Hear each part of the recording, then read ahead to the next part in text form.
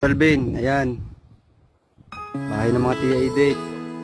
Pero Junjun, ito yung bahay nyo ngayon. Ito na yung itsura. Wala na, sira na. Ayan, bahay ni Busing. Bahay ni Busing, hindi natin alam kung paano pa tayo babangon nito pare. Ayan ang bahay mo.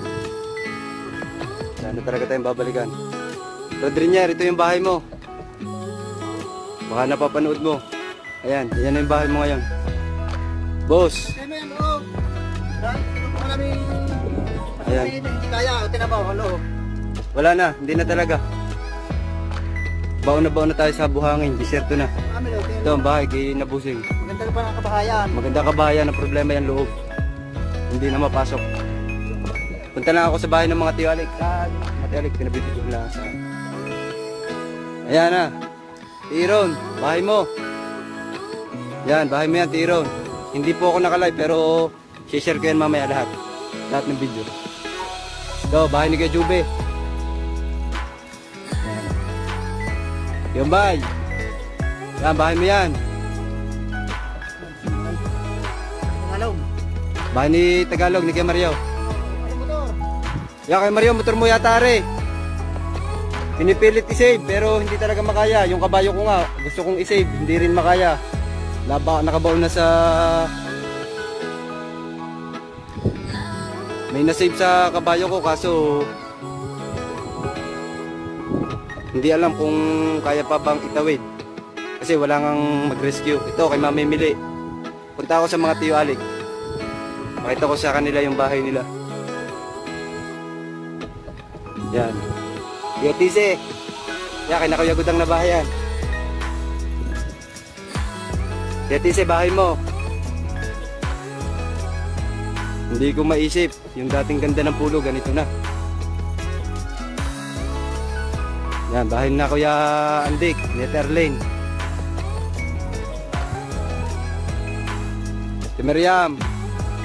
Yan, bahay mo. Yan o, yan. Yan yung bahay mo, Maring Glessy. Ito yung sayo. Maring Ambit. Yun, yung bahay mo. Malayo. Pero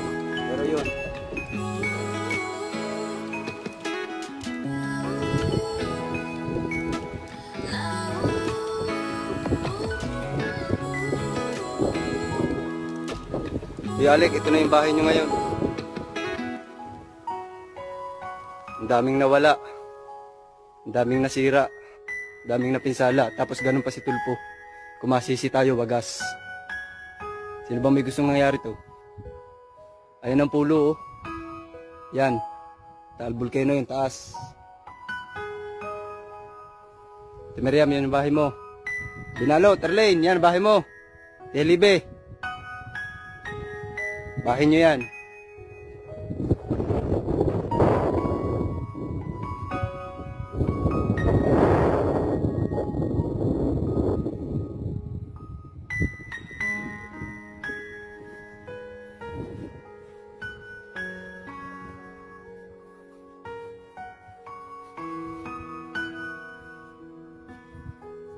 Isang Kevin, ito na yung bahay mo.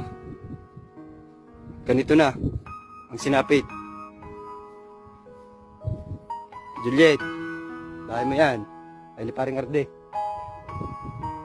Sa umping Arle, halos naubos.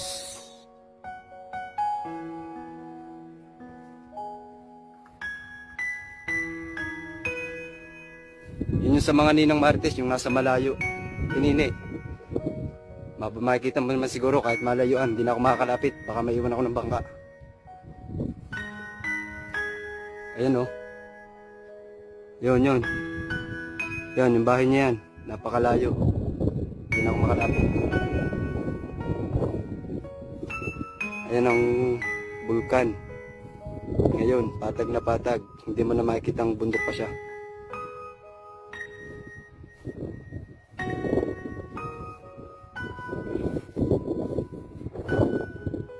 Awa ng Diyos, may nasave akong kabayo kahit apat lang.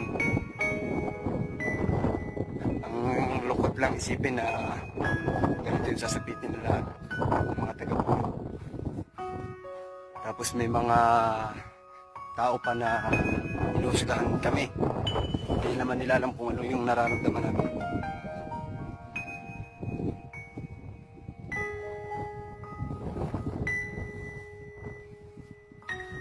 Walang taong gustong maiwan yung mga mahalagang bagay sa kanila. Pero wala lang kami talagang choice. Kundi lumikas kasi biglaan na. Nga kahit delikado, balik kami ng balik. Makakuan lang na okay lang yung hayop namin. Pare ano, kamusta? Wala na, wala na tayong babalikan. Ang hirap.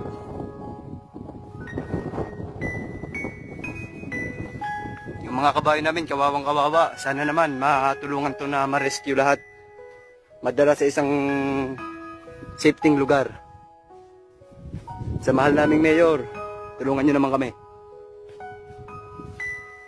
Kawawang kawawa talaga sila.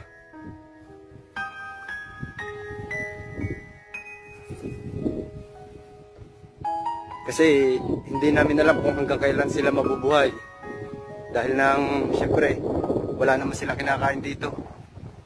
Ito nga, pakawala lang silang lahat. Tumakbo sila kung saan nila gusto pumunta. Ang hirap.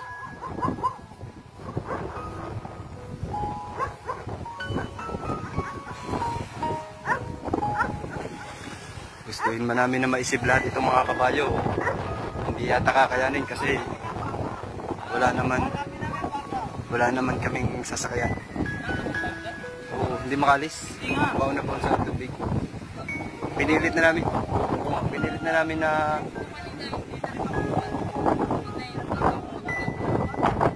mayangat. Ayan na. Hindi lang ako makapag-live kasi ubos na yata yung data ko. Pero ito, i-share ko to sa inyo lahat. Yan. Paring Leo yung bahay to. Ito kay paring ata, wala nang natira. Sa mga TV days yan. ah, Yung mat nakatayo po yan. Sa bitamin na. Yung kay na Kuya Jire. Paano na? Hindi na alam kung paano makakapag-rescue ng kabayo.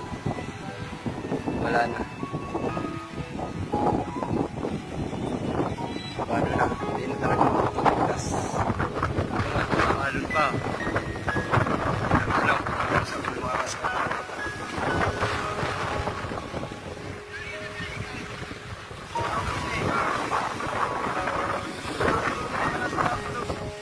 Siya is ko na ito muna ang video at wala na. Hindi namin talaga, hindi na talaga. Hindi yata mapapakarga.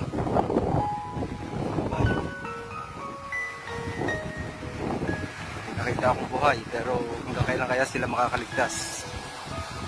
Kasi hindi naman sigurado kung may sasakay sila eh. Sana lang talaga matulungan kami ng gobyerno na mailikas lahat itong hayop. Ano? Mas na kami. Sa ulitin. Sana makabalik pa ulit dito sa araw. Para mapakain ng ayos yung mga hayop natin. Ka na yung ibang kabayo, mare-rescue. Swerte yung mga na-rescue kabayo, pero sana all ma-rescue. Gawa ng paraan na ma-rescue.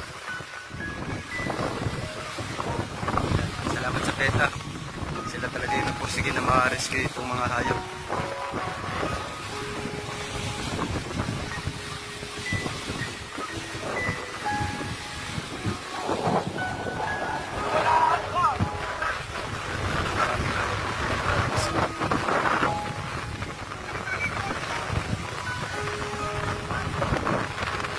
Malalaki na yung alon, kaya hindi sigurado marirescue pang lahat ng hayop. Medyo mabilis na kasi. Nila. Magsasakay.